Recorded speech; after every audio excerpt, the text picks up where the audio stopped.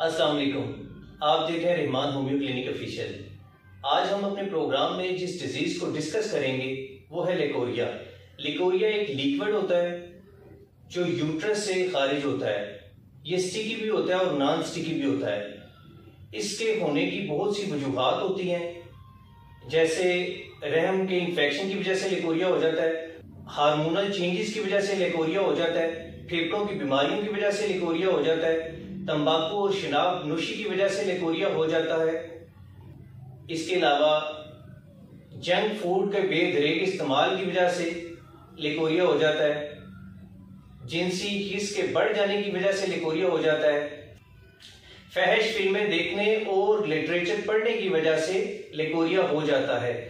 Uterus کی گردن کے انفیکشن کی وجہ سے بھی لیکوریا ہو جاتا ہے اور یوٹرس کی رسولی کی وجہ سے بھی لیکوریا ہو جاتا ہے۔ اب بات کرتے ہیں اس کے ٹریٹمنٹ کی۔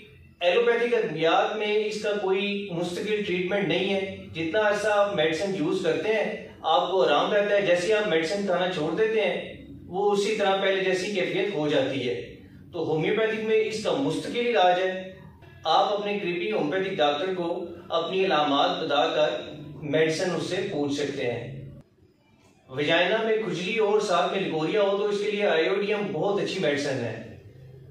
کمر درد ہو اور ساتھ میں لگوریا ہو، تو اس کے لیے ایسکیولس بہت اچھی میڈیسن ہے۔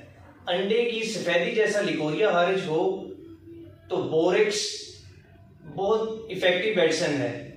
گاڑے پیلے رنگ کا لگوریا خارج ہوتا ہو، تو پلسا ٹیلا بہت اچھی میڈیسن ہے۔ تیزابی لگوریا اگر خارج ہو اور جہاں جہاں وہ لگے، وہاں پہ جلن ہو، تو اس کے لیے امونیم کار بڑی افیکٹو میڈیسن ہے۔ باری میں اگر بلڈ کلاٹنگ ہو اور ساتھ میں لکوریا ہو، تو کاکولس انڈیکا بہت اچھی میڈیسن ہے۔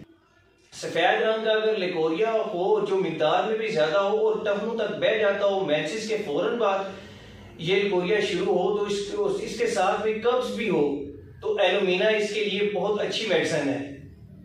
سبز رنگ کا بدبودار لیکوریا ہو، تو سپیا بہت اچھی میڈیسن ہے۔ ویجائنا کی خارش اور جلن والے لکوریا اگر ہو اور ساتھ میں چلتے ہوئے یا کھڑے ہونے سے لکوریا زیادہ ڈسچارج ہو، تو اس کے لیے کریا زوٹم بہت اچھی میڈیسن ہے۔ ملکی وائٹ اگر ڈسچارج ہو، تو کلکیریا کار بہت اچھی میڈیسن ہے۔ مریض اداس ہو ڈپریشن کا شکار ہو اور نمک بھی زیادہ استعمال کرتا ہو اور اس کو لکوریا کا مرض لاحق ہو، تو نیٹرم بہت اچھی میڈیسن ہے۔ ہر طرح کے لیکوریا میں معاون دوا کلکیریا اوورٹسٹا ہے۔ چھوٹی عمر کے بچوں کے لیکوریا کے لیے کیوبیبا بہت اچھی میڈیسن ہے؟ لیکوریا کے ساتھ اگر ایسا محسوس ہو رہا ہو کہ سب کچھ نیچے کی طرف بڑھ رہا ہے، تو اس کے لیے کولوفائلم بہت اچھی میڈیسن ہے۔ جسم میں دردوں کے ساتھ اگر لیکوریا ہو رہا ہو، تو کلکیریا فاس بہت افیکٹو میڈیسن ہے۔ کسی بھی طرح کا اگر لیکوریا ہو یا یوٹرس کے مسائل ہو تو آپ تین مدر ٹینچر کا کمبینیشن استعمال کر سکتے ہیں۔ اس میں الٹیرس فیرینوسا اس کے علاوہ خیلونیاز اور اشوکا۔ یہ بہت افیکٹو میڈیسن ہے۔ اس کے علاوہ لیکوریا کا کمبینیشن ڈسکرپشن میں دیا گیا ہے۔ اس کو بھی استعمال کیا جا سکتا ہے اور لیکوریا کے لیے وہ بہت فائدہ مند ہے۔ تو یہ تھا ہمارا آج کا پروگرام۔ انشاءاللہ اگلے پروگرام کے ساتھ پھر آپ کی خدمت میں حاضر ہوں گے۔ تب تک کے لیے اجازت دیجیے اللہ حافظ۔